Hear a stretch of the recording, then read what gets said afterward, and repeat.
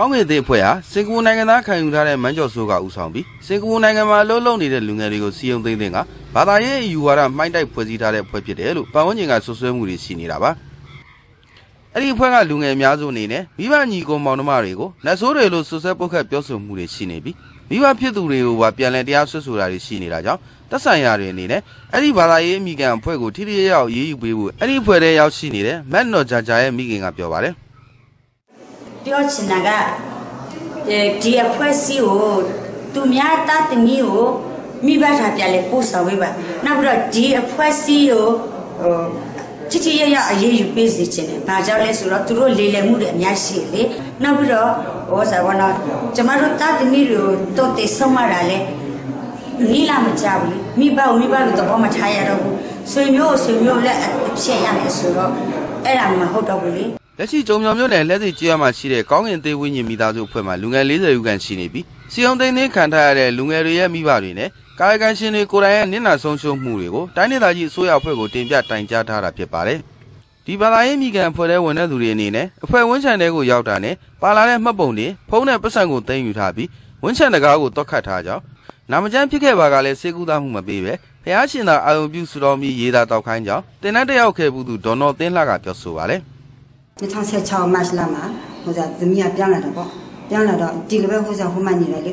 ဟိုစားပိုက်ဆံကျင်းငွေအကြောင်းပြောလို့ရှိရင်လေဟိုစားလေမပေးဘူးမပေးဘူးပြောတာပေါ့မပေးဘူးတပြောင်းကောင်မပေးတာမပေးတော့ကဲဒီကဲလို့ငါပြောပြမယ်လို့ငါနေအမေဖေနေမကောင်းဘူးဆေးရုံတက်ရတယ်ဆိုရင်ဒီပိုက်ဆံပေးမလားလို့မေးတော့သူကပဲလေနာပေါင်းရှိဘူးလားဆိုတအားကိုဝင်နေပဲလေအခုစကားကတည်းကခုနကမပြောမိဘူးနော်တအားကိုစိတ်ထား မကောင်းတော့ဘူးစိတ်မကောင်းတော့ဘူးဝန်းနေတဲ့တအားကိုခံစားရတယ်အဲ့ဒါအခုထက်ထိသူ့ဖြူတော့မှမပြောဘူးเนาะဒီစကားကိုဘာဖြစ်လို့ဆိုတအားကိုရှက်လက်ရှက်တယ်ဝမ်းလဲဝမ်းနေတယ်ဒါကြောင့်အဲ့ဒါကိုခံစားရတယ် မြန်မာနိုင်ငံအနှံ့မှာကောင်းကင်သေးအဖွဲ့ရဲ့နေရာ၉ခုရှိပြီးအဲ့ဒီအဖွဲ့ကိုတရားမဝင်အသင်းအဖွဲ့အဖြစ်ကြီးညာဖို့တာသနာရေးနဲ့ယဉ်ကျေးမှုဝန်ကြီးဌာနရဲ့လမ်းညွှန်မှုကိုရယူပြီးအရေးယူသွားဖို့လှုံ့ဆော်နေကြောင်း AR တိုင်းဒေသကြီးတာသနာရေးဝန်ကြီးကပြောပါတယ် ဟောဘော ခရစ်ယာန်ရဲ့ဓမ္မနဲ့မကိုက်ညီတဲ့ဒီအဖွဲ့ရဲ့လှူရှားမှုတွေကိုကျွန်တော်တို့ဟိုဟောဘောဒီဘာသာရေးအရာဟောကျွန်တော်တို့ဒီပြမှုကြောင်းအရာဟောရေးယူလို့ရနိုင်တဲ့အချက်လက်တွေအကုန်လုံးကိုကျွန်တော်တို့စုဆောင်းပြီးတော့တိုင်းဒေသကြီးဆိုရဲဆုံးဖြတ်ချက်နဲ့အညီအဲကျွန်တော်တို့ဆက်လက်ပြီးတော့အရေးယူဆောင်ရွက်သွားပါမယ်ဒီနေရာမှာကျွန်တော်တို့ဒီတရားမဝင်ဘာသာရေးအဖွဲ့အစည်းတစ်ခုအဖြစ်